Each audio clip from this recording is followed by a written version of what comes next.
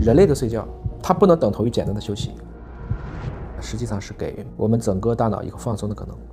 如果你一直都处于不到这个放松的状态，那你可能就会积累更多的炎症，带来的结果就是会让你出现，比如说一些神经系统的症状，甚至会加速一些早老性的、退行性的疾病的发生，比如说阿尔茨海默等等。那这个过程中呢，一天二十四小时，绝大部分人的睡眠时间不会低于六个小时，但是高质量的睡眠，人和人可就差的就大了去了。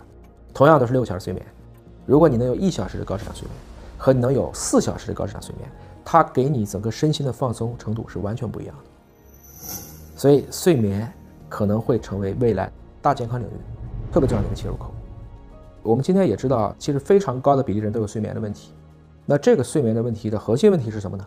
我们现在在睡眠前的交互型的社交活动太多了，回信息、刷刷短视频、打游戏，兴奋了是吧？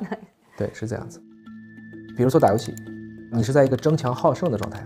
如果说你在追一个小说没有更完，你就会出一个哎呀，怎么没更完呢？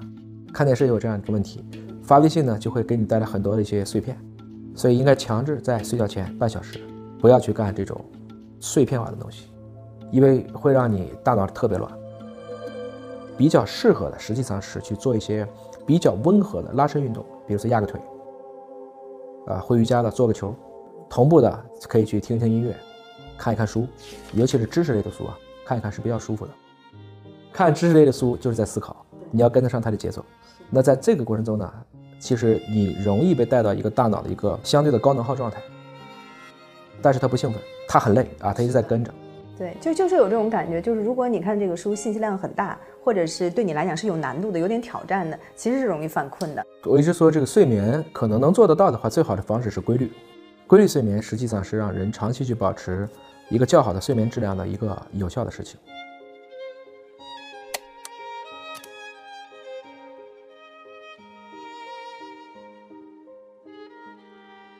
以前我听个理论说补觉是补不回来的。理论上讲，我就熬个五天夜，一百二十小时，我再连睡个五天，你能连睡五天吗？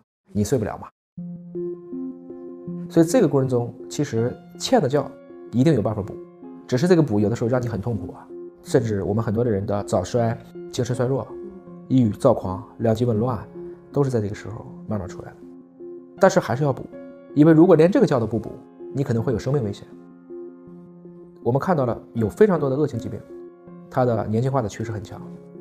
比如说这几年，我们听到最多的就是各种在基金从业人员、投资界的朋友，就加班猝死的，三十几岁、四十来岁，因为他每天两个班，白天他要看 A 股，晚上他要看美股，这个过程中他没有觉睡，他在拿命去换钱，但问题是这个补不回来，所以很多已经困得不行了，然后美国半夜给你来个电话会，大家就为了去抵抗。喝这种高浓度的咖啡哈，出去跑一圈，浇个冷水澡，这里面没有任何一件事情不是奔着找死去的。如果你有猝死基因，这个时候你就会有明确的反应，比如说你会心悸、心慌，对吧？你会感觉像地震，就整个人站不稳了。你可能有一过性的这个脑缺血啊，你就是供给失调啊，就是这样的一些问题。其实人在猝死之前，上帝已经告诉你无数次了，只是你一直忽略它，你不听。所以在这个过程中呢，如果你到一定年纪了，我们有的时候想开一点，可能这么走了也不是，啊，就是完全不可接受的，至少比折磨你个一年两年要好吧。但是如果你只有三四十岁，你可能对不起的人就太多了，你让太多人会想念你。所以从这个意义上讲呢，其实你自己睡觉不是为了你自己，你有太多的责任了，钱是挣不完的。我有一句话叫做：如果你不休息身体，身体就会一直想办法休息你；如果你一直还不休息。他就让你永远休息。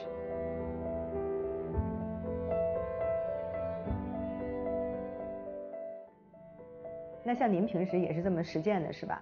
是这样子。嗯，打盹儿，高手都会打盹儿，要学会自己迅速能够回血的方法，在心里面可以去默念一个你可能喜欢的东西，不一定念经啊，你可以背个古文，听一段音乐，闻一个熏香，闭会儿眼睛，可能五分钟。如果你真能心无旁骛的坚持五分钟三百秒，把呼吸配合上，那你起来以后可能又耳目一新了。这个我记得之前您讲过，说冥想可以改变基因表达，对吧？证据越来越多了。有些人可能好好的拿了一个体检报告一看，疑似肿瘤，可能不是，可能就是个炎症，结果下了几天以后自己把自己搞死了。有啊，他们叫心身疾病是吧？就是由心理原因导致的身体疾病，这个是不是特别多的报告啊？其实不是纯粹的心理原因。啊我们这几年一直都在试图去说服大家，心理和生理是一回事儿，物质和能量是一回事儿。你的心理问题都要消耗能量，它都会在你的基因上有表达，都会引起你一系列的气质性的变化。也就是说，所有的人都应该以乐观的方式去面对这个世界，而不是说我就肆意的，我今天悲观，就让这个悲观的情绪逐渐的去放大。你可以崩溃，但不能一直崩溃。脆弱的反义词不是坚强，脆弱的反义词是反脆弱，不脆弱就行了。你不能说我脆弱，我就让你坚强，这其实大家很难做得到的。但是在这一刻和自己去取得一个谅解，这事儿没多难，但是也要去训练。就是我们今天讨论的很多的问题都是要训练出来的。我们过去都明白啊，只要跑步就能强身嘛，但是我们很少有人相信，我们按照一个正确的方法去思考，你是可以健脑的。本身这两个方式是一样的问题。就像我们说有一个时刻叫尤里卡时刻，就是阿基米德在浮力实验的时候，哇，我知道了，他自己就会大喊这个。我们在面对很多的一些触类旁通的时候，有啊，原来是这样子啊，我遇到过。那这样的一些问题，实际上如果你长期能遇到了，就会让你这一天都很兴奋，因为一天只要有一件有成就感的事让你做到，你就 OK 了。